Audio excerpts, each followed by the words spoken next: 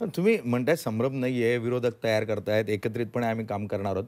तुमचे पालकमंत्री का नियुक्त नाही आहोत मंत्रिमंडळाचा विस्तार का नाही आहोत एक असं आहे की शेवटी मंत्रिमंडळाचा विस्तार हा मुख्यमंत्री करत असतात पण त्याचबरोबर एखादा राष्ट्रीय पक्ष सरकारमध्ये असतो. कारण यापूर्वी कसं महाविकास आघाडी होती तरी काँग्रेस होतं. आमच्या मंत्रिमंडळाच्या सुद्धा विस्ताराला वेळ गेलाच. आमच्या मंत्रिमंडळाचे सुद्धा पालकमंत्री नेमायला वेळ गेलाच कारण त्याच्यात काँग्रेस होती. आणि काँग्रेसला तर काय? दिल्लीच्या निर्णयाशिवाय काय करता येत नाही. इथे तर आज राष्ट्रीय पक्ष म्हणून भारतीय जनता पक्ष आहे. स्वाभाविकपणाने शेवटी त्यांच्या मार्गदर्शनाखाली पुढचा विस्तार आणि विस्तारावरतीच पालकमंत्री.